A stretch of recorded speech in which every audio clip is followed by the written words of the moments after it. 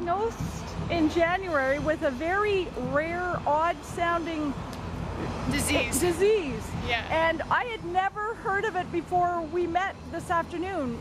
Could you explain it to me? What happened with me, start off, yeah, I was getting a lot of these strange symptoms. I was getting a lot of back pain, uh, difficulty breathing, just feeling really tired.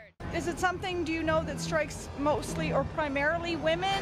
Is there a specific age range? The disease is called sarcoidosis. Sarcoidosis. Sarcoidosis. Um, it's a pretty rare autoimmune disease. It causes inflammation in the body.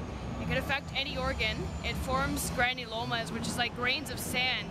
Once you have too many of those in an organ, it, it'll start affecting how the organ functions. Two thirds of the people that get diagnosed, it'll just go away on its own without Right. medication. Oh, One third of people, it becomes chronic, and you can actually die from it if it's not well managed. Usually, it starts off with the lungs um, and lymph nodes. Uh, you'll get enlarged lymph nodes. You start you start feeling really tired and so weak, it's hard to breathe and. hard to breathe. You feel breathless just with basically doing nothing. All right. Um, and it, those symptoms mimic lymphoma. In order to make a proper diagnosis, they have to collect samples and send it into the lab. But there's no way of being able to tell, you know, how the disease is going to affect you. Something triggers the disease, and they don't know exactly what it is. It could be viral, it could be bacteria, or it could be chemical.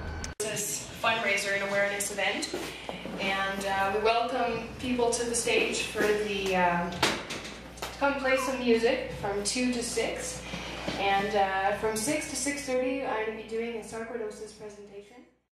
We're, doing fundraising. We're trying to raise awareness on the disease and get people, uh, the community involved. I'm trying to be become Proactive? actively, yeah, proactive.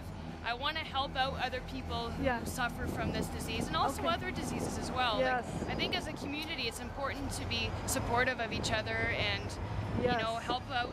It's, it's all about communication. It's yeah, very, well, very and that's the whole thing is that if people can learn something about it, maybe be introduced to it, then that's the beginning of understanding.